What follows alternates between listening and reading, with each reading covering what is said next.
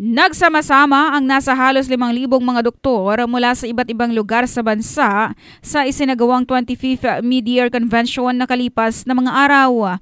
Ang pandemic's aftermath facing diverse issues with a renewed internist perspective ay idinaos sa Subic Bay Exhibition and Convention Center, Subic Bay Freeport Zone.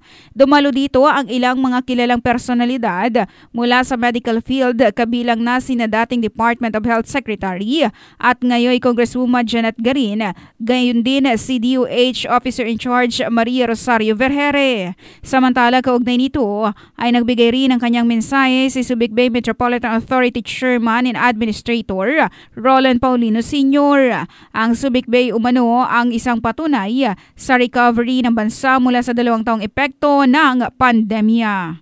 Yan na report atid sa atin ng NutriClan Herbal Capsule.